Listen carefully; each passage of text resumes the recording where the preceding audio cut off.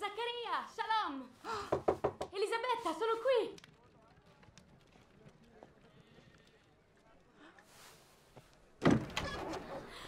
Zaccaria! Zio!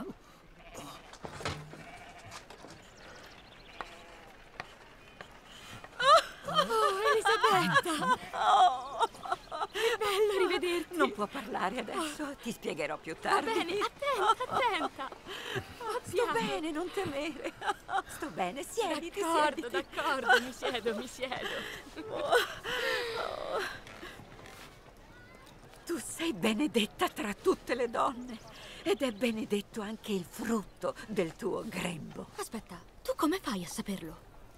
Ah, ormai non dovrei più stupirmi di certe cose. Sta succedendo una cosa ancora più meravigliosa. Questo è niente. Che grande cosa. Perché la madre del mio signore viene a farmi visita? Un suo messaggero ti ha parlato di Quando me. ha sentito il suono della tua voce, il solo suono del tuo saluto, il bimbo ha esultato di gioia nel mio grembo. E beata è colei che ha creduto nell'adempimento della promessa che ti è stata fatta dal nostro Signore. Un messaggero ti ha raccontato di me. No, il messaggero ha parlato con mio marito, ma Zaccaria gli ha detto no, non ci credo. Possiamo rallentare un momento.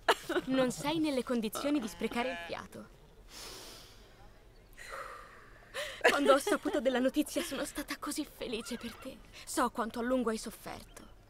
Devi raccontarmi i dettagli. La ragione per cui Zaccaria non poteva parlare con te è perché non ha creduto nel messaggio che ha ricevuto da Dio sul mio futuro. All'inizio non ero sicura neanche io. Mi dispiace che debba scontare una penitenza, ma devo ammettere che una volta tanto non mi dispiace il silenzio.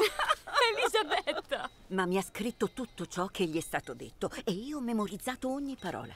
Il suo nome dovrà essere Giovanni. Non Zaccaria. Perché Giovanni? Forse non sarà un sacerdote come è stato suo padre. Seguirà invece un percorso diverso, perché a Zaccaria è stato detto anche che Giovanni ricondurrà molti figli di Israele al Signore loro Dio. Ed egli camminerà innanzi a lui con tutto lo spirito e la potenza di Elia, per ricondurre i cuori dei padri verso i loro figli e per riportare i ribelli verso la saggezza dei giusti e per preparare così al Signore un popolo ben disposto. Per preparare la strada precisamente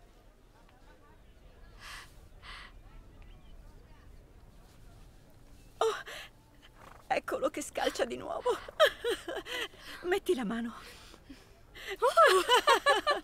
Sì! È come se non vedesse l'ora di darsi da fare.